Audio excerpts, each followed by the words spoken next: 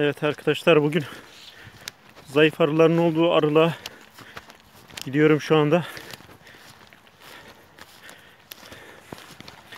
Gelmek zorunda kaldım çünkü Nisan'ın ilk haftası olduğu halde geçen yıl bu vakitlerde havalar ısınıyordu.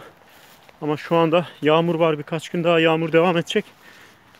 Zayıf arı yavrulama alanını öne almıştı. Arka tarafta bir şey yoktu ve birinci ile ikinci çerçeve arasında ananın yavru atması için yer vardı. Şimdi onun yavru alanını ana arı yumurtlama alanına yumurta atmış mı atmamış mı ona bakacağım. Eğer yumurtlama atmadıysa koloninin düzenini değiştirmem gerekiyor. Çünkü birkaç gün daha yağmur var. Eğer değiştirmezsem arı bu vaziyette yine ön tarafta yığılı kalacak ve gelişmesi duracak, gelişemeyecek. Yaklaşık bir hafta kaybedeceğim. Bir haftayı kaybetmek istemiyorum. Gelişmesi dursun istemiyorum. Şimdi kovanı açıp bakacağım.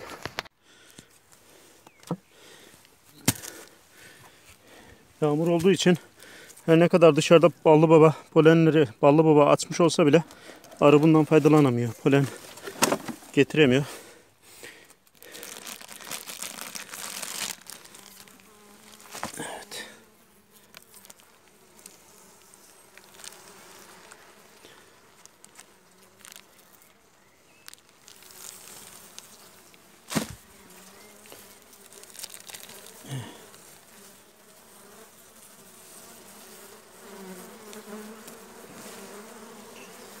Doğal olarak huysuzlandı.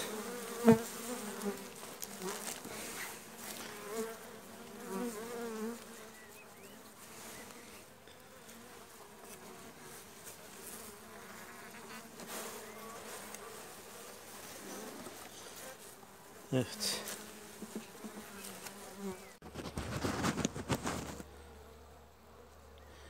Evet koloni düzenini değiştirdim.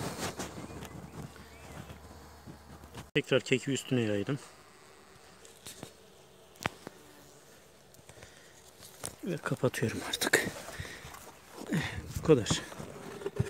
5 dakikalık iş.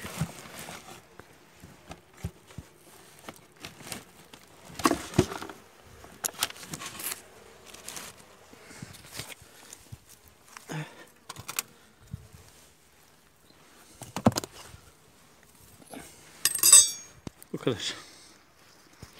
Formik damlatma yaptıktan sonra ön taraftaki faaliyete bakıyorum. Normal. Aşırı bir çıkış yok bunlarda zaten. Bekçi arılar. Bombusları bekleyenler. Evet. Formik damlatma yaptım tekrar.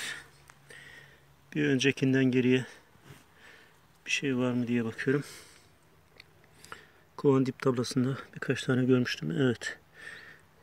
Yine birkaç tane var var. Yavru alanı çok küçük olmasına rağmen birkaç tane varova var.